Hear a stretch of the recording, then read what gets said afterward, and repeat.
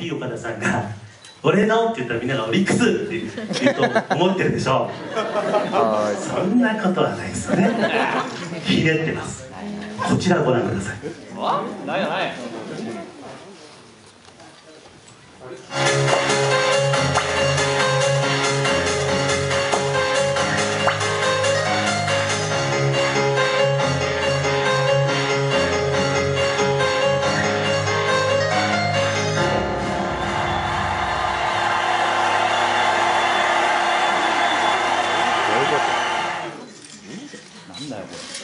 わかりました？わかりません。わかんないよねグッドっていうのもハッピーグッド。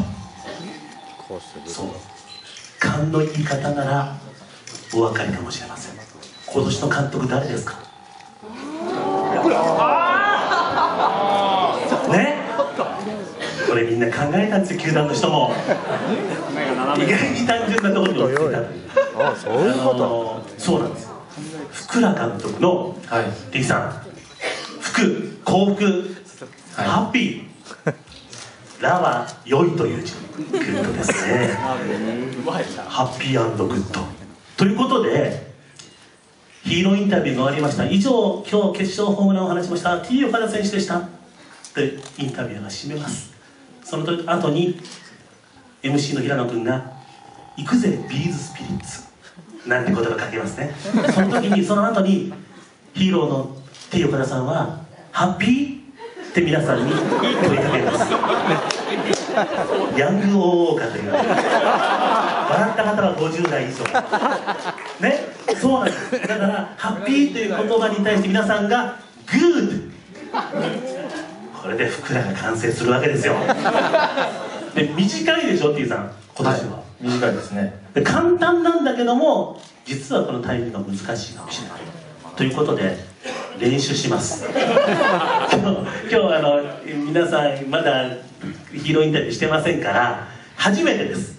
ね、去年も同じことを言いましたけども初めて皆さんが、えーこのうん会場ナレッジシアターで、えー皆さんと大合唱するということになります。昭和ください。じゃあ練習します。じゃあディオさん。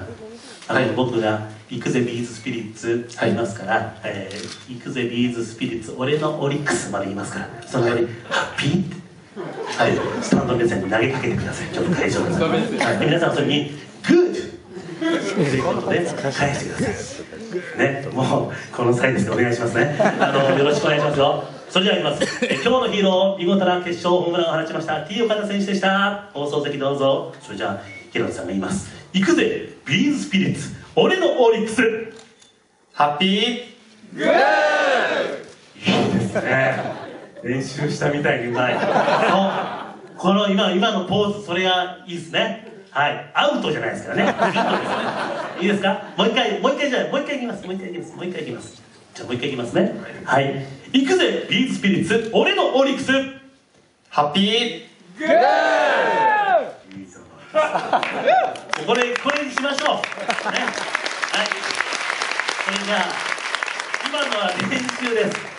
練習あの3回の予定だったんですがもう皆さん一発でできてるんで1回省きます。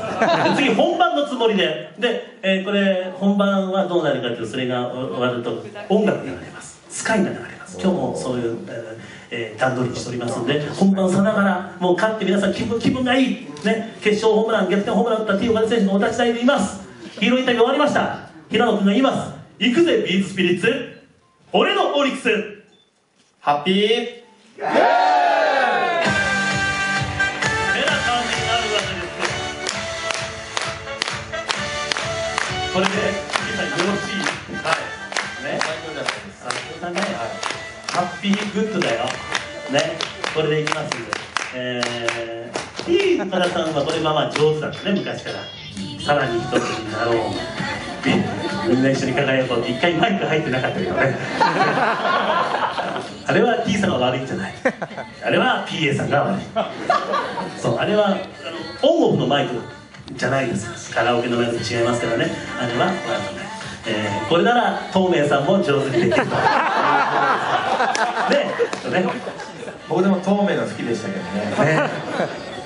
みんな一緒にかかやこなんかこうどこでかやこって言っていいのかよくわかんないっていうあのグダグダ感がしてるなモーメンさんですけど。ということで T さんあの今年はねこの新しいユニフォームもあります、はい。えーそしてそして新しいキャッチフレーズができて新しい合言葉っていうのもできました、えーということで今日は皆さんと一緒に楽しんでまいりましたけども